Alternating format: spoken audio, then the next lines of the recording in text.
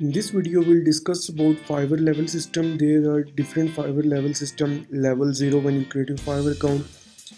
Then there is a level 1, level 2 and top rated seller.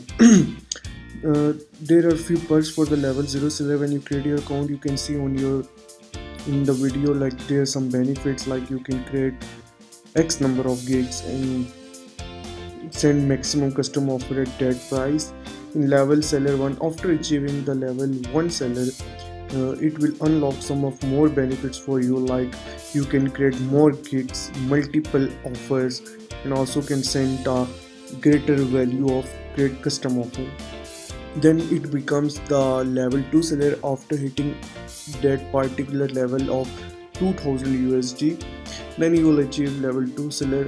For the level 2 seller there are uh, some more perks like you can create more extra gigs can offer more extra extra uh, gig extras and can also send a greater amount of custom offers.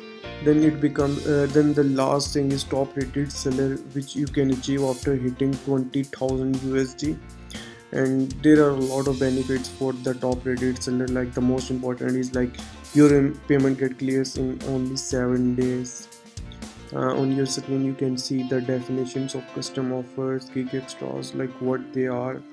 Clearance normally takes 14 days but for the top rated select takes only 7 days.